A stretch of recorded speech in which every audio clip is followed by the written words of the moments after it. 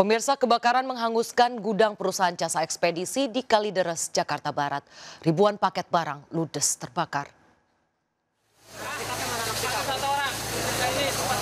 Gudang ekspedisi di Jalan Utan Jati, Kalideres, Jakarta Barat ini terbakar.